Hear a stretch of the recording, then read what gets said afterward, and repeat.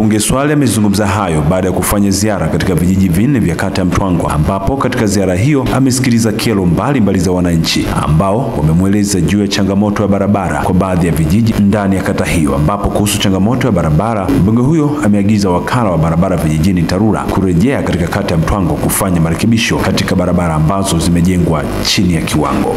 Kweli diwani alinieleza changamoto za barabara hizo. Sasa nikiwa hapa Itunduma, natoa wito kwa meneja wa TARURA wa wilaya kwamba barabara za kata ya Mtwango, barabara ya Itunduma kwenda Ibumila, barabara ya Lunguya kwenda Welela, Lunguya kwenda Sovi, Lunguya kwenda Kichiwa zimejengwa chini ya kiwango, na nitawataka TARURA waje waone hizo barabara na warekebishe ziwe kwenye kiwango mvua ziweze kupitika.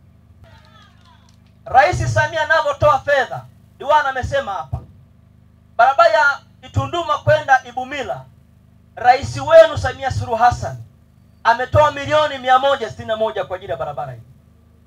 Hivi kama isipopitika itakuwa na maana gani? Atakuwa amewasaidia hajawasaidia?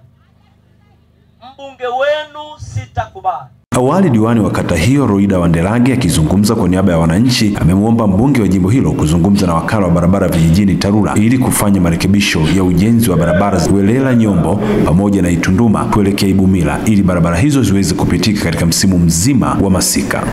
kwa sababu alipolima mara ya kwanza hii barabara ilikuwa ni mbaya sana.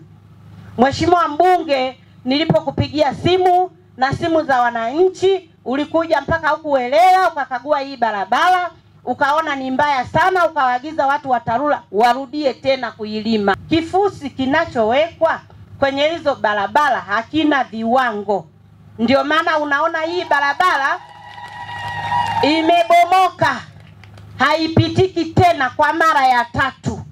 Mheshimiwa mbunge, ukiongea na watu wa TARURA wanasema kifusi hakiwezi kuchukuliwa zaidi ya kilomita kumi, lakini mimi ninaamini kama Mheshimiwa Rais anaidhinisha pesa kutoka wizarani kule, bilioni moja zinakuja kwenye kijiji, hivi hicho kifusi kiko mbinguni? Si kiko hapa hapa duniani?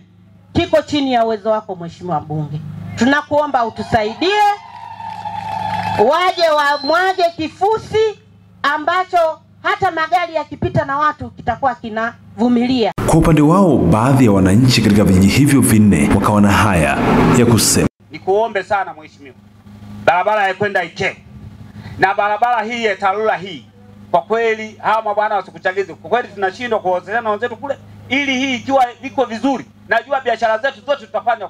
Maendeleo ni barabara, hakuna kitu kingine.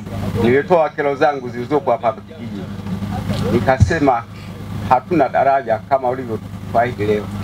Uliniahidi ukisema kwamba utatoa hela yako mfukoni.